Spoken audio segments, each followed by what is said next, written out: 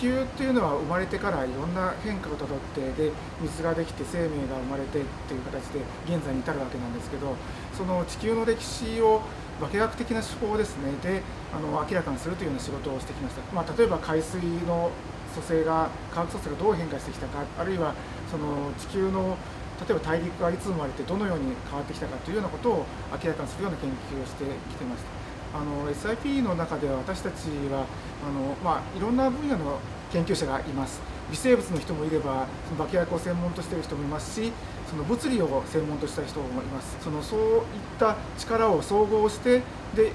資源がいつあのどうしてそこにでどのようなプロセスでできてきてでどうしてレアメタルをあの濃縮しているかというようなことを明らかにしていきたいというふうに考えています。まあ、地球の7割っていうのは海で覆われているんですけどその広い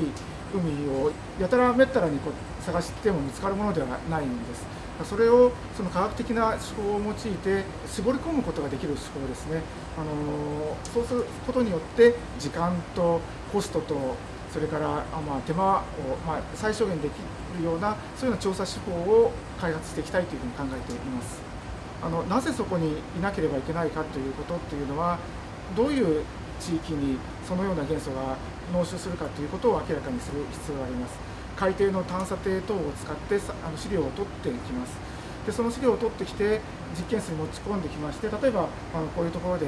あの化学処理をしてで測定をしてその中からいろんな情報を取り出します。実験室の中であの試薬を、まあ、薬品を使って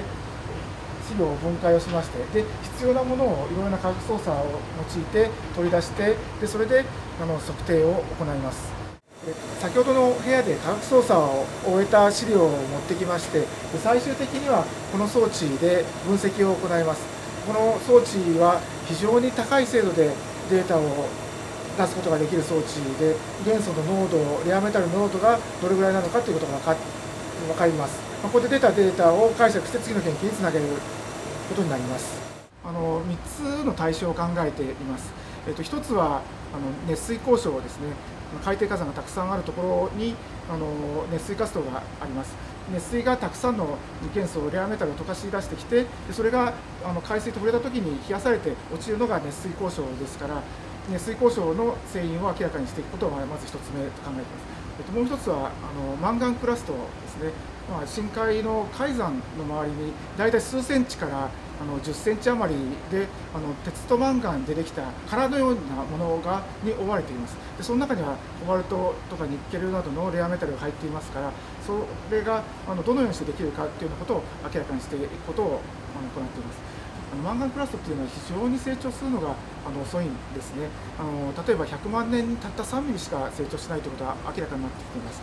例えばあの恐竜が絶滅をしてからあの今までっていうのは大体6000数百万年経っているんですがそれがやっと、まあ、あの遡っていくとこれぐらいの時代に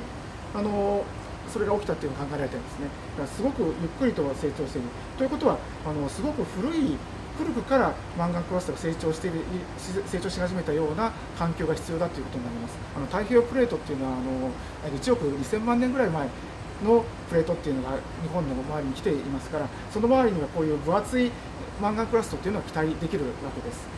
もう一つはあのレアアースデーといいましてこれはあの太平洋に広くそのレアアースに富んだ数千 ppm、まあ、0. 数パーセントですねぐらいのレアアースの濃度を持つような泥が見つかっています。でその泥がどのようにしてできてでどういうところに分布するかというようなことを明らかにしことしていくことをあの計画しています。このレアースデーもやはりあの深海底ですごくゆっくり堆積したものだと考えられているんですね。やはり古いプレートの上である必要があります。あの地球の歴史を知った上でこういう資源があのどうやってできてくるかということを考えてそれがあの SIP につながっていく SIP で明らかにしたいそのどこを探したらいいかどのように探したらいいかということをあの作り上げるための、まあ、材料になるというふうに考えています。あのまあ、今回このようなあのプロジェクトに関わることができるというのは研究者としては非常にあの、まあ、ありがたいことですし楽しみでもあります。で多くのあの研究者の人に集まっていただきましてそれもあの今まで我々がその一緒にやってきたタイプのあるいはあの分野の人じゃない人たちとも一緒にできることができていますし